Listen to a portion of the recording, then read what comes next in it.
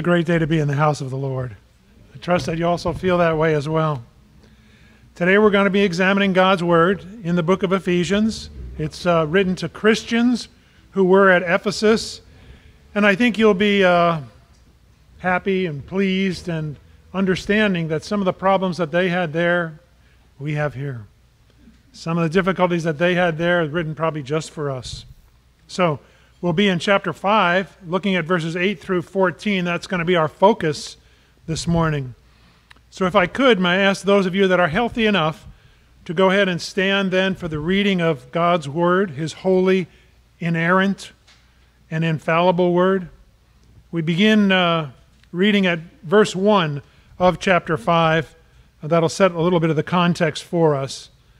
Therefore, be imitators of God as beloved children, and walk in love, just as Christ also loved us and gave himself up for us, an offering and a sacrifice to God as a fragrant aroma. But sexual immorality or any impurity or greed must not even be named among you, as is proper among the saints, nor filthiness and foolish talk or coarse jesting, which are not fitting, but rather giving of thanks. For this you know with certainty that no one sexually immoral or impure or greedy who is an idolater has an inheritance in the kingdom of Christ and God. Let no one deceive you with empty words, for because of these things the wrath of God comes upon the sons of disobedience. Therefore, do not be partakers with them. And now, this portion is the newer portion for today's message. For you were formerly darkness, but now you are light in the Lord. Walk as children of light, for the fruit of the light consists in all goodness and righteousness and truth, trying to learn what is pleasing to the Lord. And do not participate in the unfruitful works of darkness, but instead even expose them. For it is disgraceful even to speak of the things which are done by them in secret. But all things become visible when they are exposed by the light, for everything that becomes visible is light. For this reason it says, Awake, sleeper, and arise from the dead, and Christ will shine on you. Thus far are the words of today's Holy Scripture. You may be seated. Let's be mind, mindful of what Isaiah the prophet said over and over. He seems to say it to us every week. The grass withers, the flower fades, but the Word of our God, that's what stands forever. Incidentally, an aside here is a couple weeks ago, uh, all I did for the sermon was read Scripture. And I, have gotten complimented so much. And, and I had to tell people right away, you know, I didn't write that stuff. Uh, but I, I do believe, and, and, and we've had friends who've actually had Bible studies where all they did at Bible studies was read the Word. And that grew. So don't ever think you can't have a Bible study in your home. Don't ever think you, you can't get the Bible uh, uh, in, into your children's minds. It can happen just simply by the reading. That's a, what's called in, in, in Reformed doctrine a means of grace. That's why we meet on Sunday. So, Scripture tells us and reminds us he who has an ear to hear, let him hear. So let's go to that great God in prayer. Dear God, I do pray that the words of my mouth and the meditation of all of our hearts would be found to be acceptable in your sight because truly you are our King, our Redeemer, our rock. For it's in your name we pray. Amen. Our age era that we live in is an age where people tell us that it's probably best not to be known because public figures are scrutinized. Um, politicians have their tax returns examined extensively. Think about celebrities. They're burglarized because of their wealth, they're harassed, and they're even murdered sometimes. And I can understand well, how somebody might want to think uh, maybe anonymity is the way to go. And perhaps uh, we've all felt like that. Maybe even regarding our Christianity, too. Do you often think of yourselves as a, as a, a well known Christian in your neighborhood? Maybe a, a well known community figure?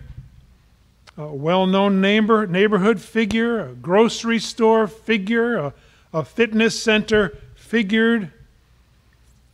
Can we, uh, can we really choose at all when we're going to be observed? In today's passage from the Bible, Paul the Apostle gives us some clear guidelines, both positive and negative, as to how we might conduct our lives. So prepare your hearts for God's message. And then follow along with me as I read from verse 8 to 14 one more time. For you were formerly darkness, now you are light in the Lord. Walk as children of light. For the fruit of the light consists in all goodness and righteousness and truth, trying to learn what is pleasing to the Lord. And do not participate in the unfruitful works of darkness, but instead even expose them. For it is disgraceful even to speak of the things which are done by them in secret. But all things become visible when they are exposed by the light. For everything that becomes visible is light. For this reason, it says, Awake, sleeper, and arise from the dead, and Christ will shine on you. So, as our introduction, let's be considering just the light. The story of just how Jesus announced his presence in John chapter 8 has always kind of captured my imagination. It was the end of the Feast of Tabernacles in a spectacular nighttime ceremony called the illumination of the temple. It took place in the temple treasury in front of four really enormous golden candelabra topped with huge torches. History records that the candelabra was as tall as the highest walls of the temple, and at the top of three of the candelabrum there were bowls with as much as 65 liters of oil in each one. There was a ladder to each candelabrum, and at the end of the evening, young men would climb up there and they would oil up. They would uh, light wicks. Eyewitnesses said that the huge flames that left, leapt from the bowls not only illuminated the temple, but all of Jerusalem. The Mishnah, which is a collection of rabbinic uh, laws and sayings, tells us that, quote, men of piety and good works used to dance before the candelabras with burning torches in their hands, singing songs and praise, and countless Levites played on harps, lyres, cymbals, trumpets, and instruments of music. From that very graphic description, one could almost feel the heat of the flames or the smell of the oil, and you can almost get caught up in the frenzy of the feast. One might imagine how thoughts would hearken back to the sojourn in the wilderness when God's presence was seen in the pillar of fire as he led the Israel nation through the desert. After that ceremony in Jerusalem, while the morning was still quiet, in the same temple treasury that had been aflame the night before, that morning entered Jesus, the Christ the Messiah. There were these great charred torches that were still in place, perhaps still smoldering. There was an acrid aroma of the revelry of the night before, probably hanging in the atmosphere. It was at that moment in time that Jesus lifted his power filled voice above the crowd and proclaimed the words captured for us in John 8 12. Jesus said, I am the light of the world. That had to be a wow moment. What a dynamic way to announce one of the supreme truths of existence. In essence, Jesus was saying that fire that you followed in the wilderness, that very one, that fire that came between you and the Egyptians, that very one, that cloud that guided you by day, that flame that illuminated the tabernacle last night, the glorious cloud that filled Solomon's temple, he says, was me. I am the light of the world.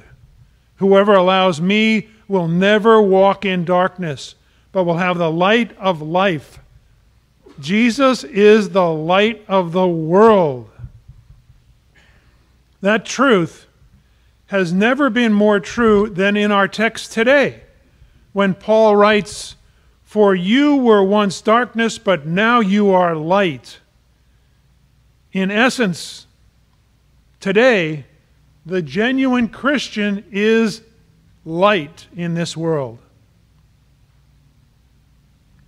Reflected light of our Lord and Savior, Jesus Christ. Our light comes from Him. None of it starts with us. Not a single ray. Like Peter says in 2 Peter 2:14, we participate in the divine nature. Our light in Him is so real that in eternity, the Bible says in Matthew 13 43, the righteous shall shine like the sun in the kingdom of the Father. And incidentally, we shine right now. Take it or leave it we shine right now. Listen to this same Paul as he wrote in another prison epistle, this time in Philippians, beginning in chapter 2, verse 12, and continuing on for a few verses. Here's what Paul said. So then, my beloved, just as you have always obeyed, not as in my presence only, but now much more in my absence, Work out your own salvation with fear and trembling. For it is God who is at work in you, both to will and to work for his good pleasure. Do all things without grumbling or disputing, so that you will be blameless and innocent, children of God, without blemish, in the midst of a crooked and perverse generation. Don't miss this among whom you shine as lights in the world. Literally, this says, among whom you are already shining as lights in the world, holding fast the word of life, so that in the day of Christ, Paul said, I will have reason to boast because I did not waste my time, because I did not run in vain or labor in vain. And then he adds, But even if I'm being poured out as a drink offering on the sacrifice and service of your faith, I rejoice and share my joy with you all. And you also rejoice in the same way and share your joy with me. So, fellow Christians, because we are light, we are faced with a huge responsibility in the world. How are we to live? We who have been transferred from the darkness into the light, how are we to live now? Paul speaks of the positive side and then the negative side. So, first, positively, let's study the, the directions for the people of the light.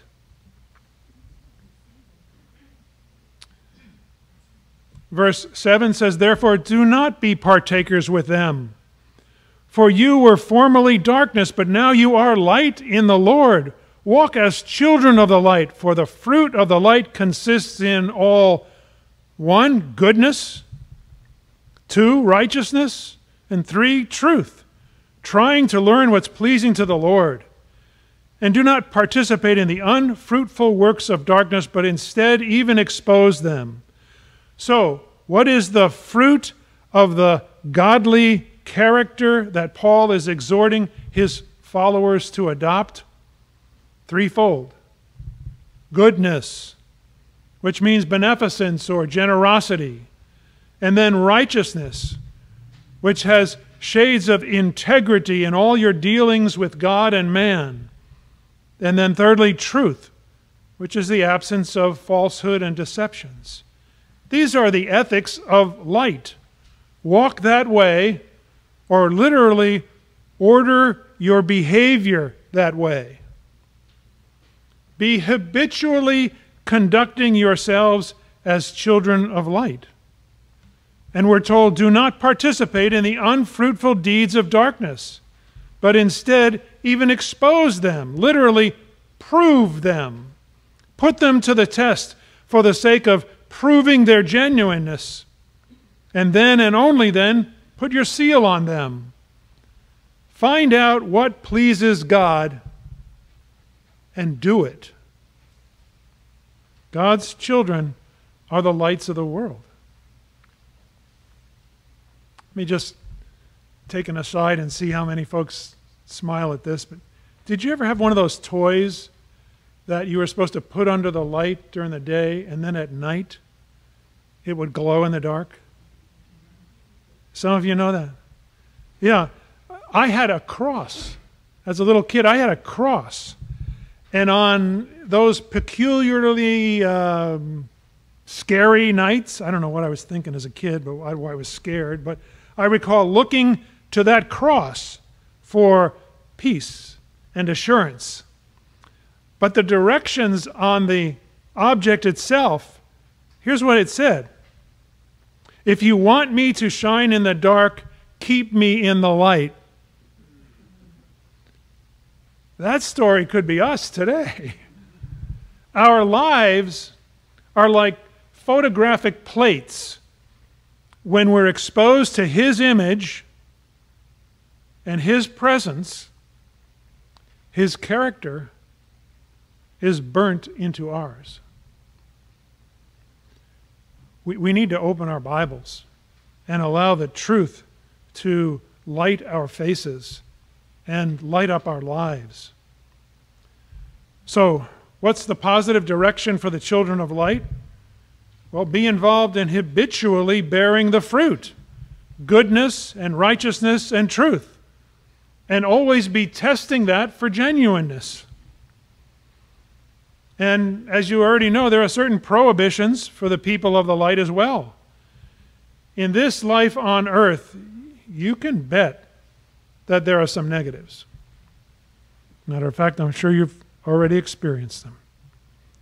So, what are those prohibitions for the people of the light? Verse 11 says, And do not participate in the unfruitful works of darkness, but instead even expose them. For it is disgraceful even to speak of the things which are done by them in secret. But all things become visible when they are exposed by the light. For everything that becomes visible is light. For this reason it says, Awake, sleeper, arise from the dead, and Christ will shine on you. So we are to have nothing to do with these fruitless deeds of darkness. Nothing really good happens in the dark, does it?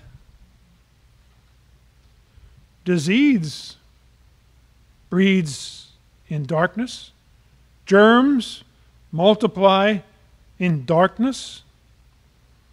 Darkness brings death to plants and to animals alike.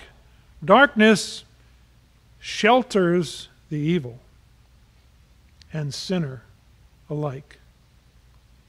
Night seemingly has no shame. Let me just comment here. Light promotes life, not darkness. Another way to say that pus attracts pus.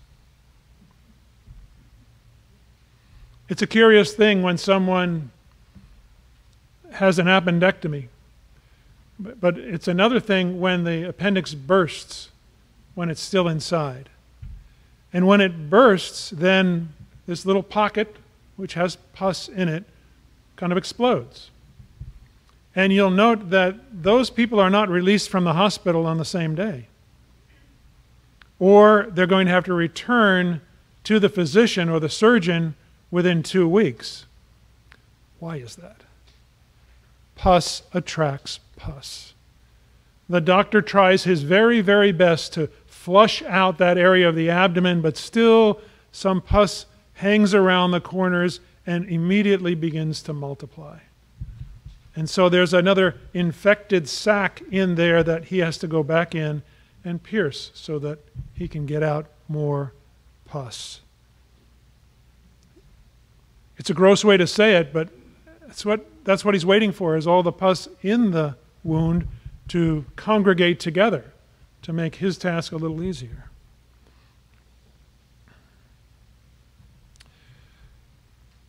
Our text says, have nothing to do with the fruitless deeds of darkness. There is a tension point in our culture today because it seems as though the great, great sin of our culture is what it perceives as intolerance. The non Christian has come to think that the great Christian virtue ought to be tolerance of anything. Christians who form judgments in their eye, in the eyes of unbelievers, are somehow thought to be sub Christian or sub logical. The universal motto today might be the one thing I will not tolerate is intolerance. It's true, isn't it? It's, it's an odd time we live. To many, it seems that Christianity exists to make us a, a broad and accepting group. And there are clergy who actually kind of put their imprimatur on, so to speak, the clergy that, that baptizes every form of sin also. Uh, if, I, if I put on a, a cultured accent, maybe, and I wear a, a fuchsia colored bishop's shirt, maybe even have a pipe in my mouth. And, and I urge the world's people to place condoms in Gideon's Bibles. This world, if that were me, this world would reserve a seat for me on Good Morning America tomorrow. Our culture loves the open minded. I consider those empty headed people, but open minded, non judgmental, live and let live personality, especially if that individual hates intolerance and even growls his distaste for the narrow minded. Listen, if you, as a genuine Christian, are narrow minded around the truth, there's nothing wrong with you at all, and everything wrong with the world. Don't let anyone ever talk you out of that position. Let me tell you what God's Word says. Have nothing to do with the fruitless deeds of darkness. God does not stomach the world's luxuries toward intolerance. God has rules. Christianity is exclusive, not inclusive. God told his people not to touch the Ark of the Covenant. There were rules for handling it.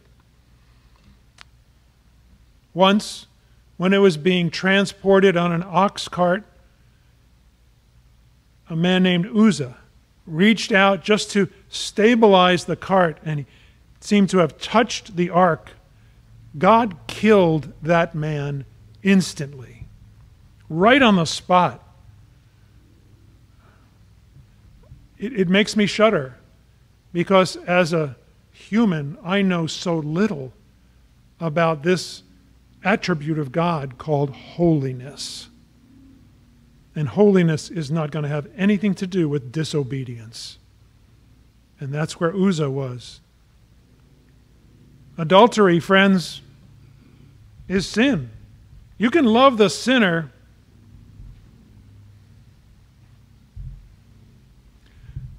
But if you know it's a sin, then call it that way. Today, we need people in our culture who will hate sin and call it sin. Materialism is sin, friends. Neglect of the poor is sin. Child neglect is sin. Even if it presents itself in a nice looking suburban wrapper. Uh, we need ethical people shedding ethical light in our community. We need integrity in the office, in the classroom. In essence, you're counting on me and I'm counting on you to bring that message in the shop, in the church. Our culture desperately needs the church. It needs the well lit church that loves sinners and broadcast that the only way to heaven is Jesus the Christ. Amen. The text says, Awake, sleeper, arise from the dead and Christ will shine on you. Let me move now to application. Let's talk about my light. I want to illustrate this point here uh, by reading a rather lengthy piece. So if you have to get up in the middle and leave, I understand that. But uh, this is by a man uh, named Robert Fulghum. Any of you know that? He wrote a famous book about two decades ago. Um, you know the book, uh, All I Really Needed to Know I Learned in Kindergarten? Well, everything you needed to know about God, he did learn in kindergarten. Um, and I have on your note there to note that he's a Unitarian Universalist. Uh, okay, and so that's kind of a very mixed bunch of people. Anyway, he wrote that he had calculated, and he's still alive, so these hours will go up but he wrote that he had calculated in his life so far, he had spent 35,000 hours eating, 30,000 hours in traffic, getting from one place to another, 2,508 hours just brushing his teeth, 870,000 hours just coping with odds and ends, filling out forms, repairing things, paying bills, getting dressed and undressed, and 2000, uh, no, 207, 217,000 hours he'd been at work. He said there is not a whole lot left over when you get finished adding and subtracting. He said the good stuff has somehow been fitted in somewhere. Which is why he often, he, he's still speaking here, which is why I often say it's not the meaning of life, it's the meaning in life. All of us have attended lectures which end with the speaker asking, Are there any questions? On such occasions, Fulghum says he usually asks the most important question of all What is the meaning of life? He says that the question is never taken seriously. People laugh and nod and gather up their things, and the meeting ends on that ridiculous note. But once, when he asked that question, to his surprise, he got a serious answer. It came from Dr. Alexander Papaderos, a Greek philosopher and teacher, and founder of an institute on the Isle of Crete that was dedicated to human understanding and peace. One summer, Fulghum attended a two week seminar at the Institute. At the conclusion of the final session, Dr. Papaderos asked, Are there any questions? So Fulghum asked, What is the meaning of life? The usual laughter followed, and people stirred to go. Papaderos held up his hand and stilled the room and looked at me for a long time, asking with his eyes if I was serious. And seeing from my eyes that I was, I will answer your question, he said. Then, taking his wallet out of his hip pocket, he fished into a leather billfold and brought out a very small, round mirror, about the size of a quarter. Let me stop there. I used this as an illustration one time in a church that I pastored in California. And a man left that day and came back the next week with these, just like this. Just like this. Here's what uh, Papaderos said Folks, I was a small child during the war. We were very poor and lived in a remote village. A German soldier's motorcycle had been wrecked in that place. I tried to find all the pieces and put them together, but it was not possible. So I kept only the largest piece, this one. And by scratching it on a stone, I made it round. I began to play with it as a toy and became fascinated by the fact that I could reflect light into dark places where light would never shine, in deep holes and in crevices and dark closets. It became a game for me to get light into the most inaccessible places I could find. I kept the little mirror, and as I went about growing up, I would take it out in idle moments and continue the challenge of the game. As I became a man, I grew to understand that this was not just a child's game, but a metaphor that I am not the light or the source of the light. But light, truth, understanding, knowledge is there, and it will only shine in many dark places if I reflect it. I am a fragment of a mirror whose whole design and shape I do not know. Nevertheless, with what I have, I can reflect into the dark places of this world. I only know of one despicable sinner here. So let me try to get the angle just right.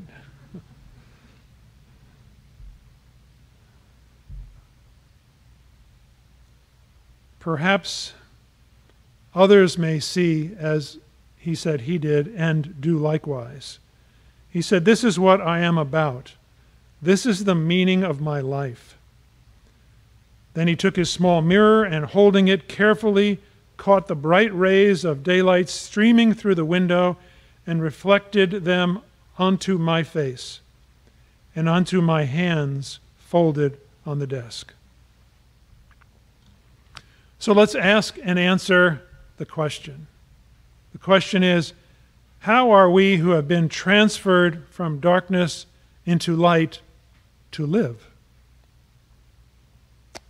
And the answer that we have from the text is walk in goodness, righteousness, and truth, proving and testing and desiring to validate the good, and then remembering to have nothing to do with the fruitless deeds of darkness. We need to awaken sleepers.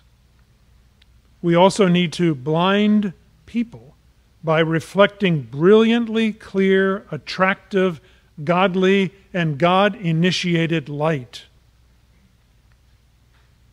And then we would ask, Are you ready to reflect into the dark places of this world Christ's light?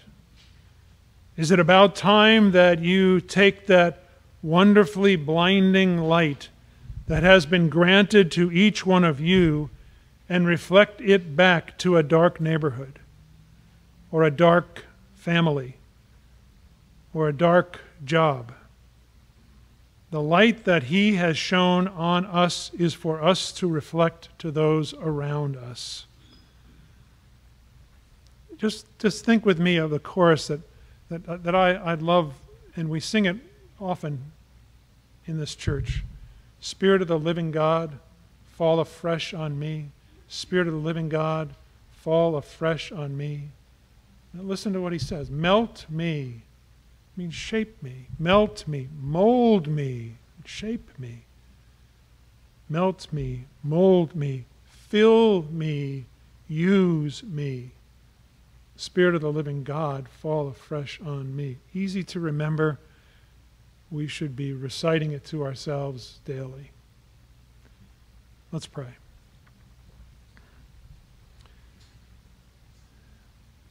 Help us, Lord, to be light in a dark world. Help us, Lord, to be light here in League City. Embolden us, Lord, to see the screaming need around us.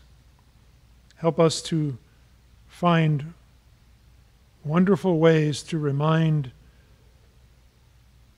our friends and relatives and neighbors that this is the place and they must understand the exclusivity of Christianity. It's God who told us these things. For it's in your name we pray. Amen.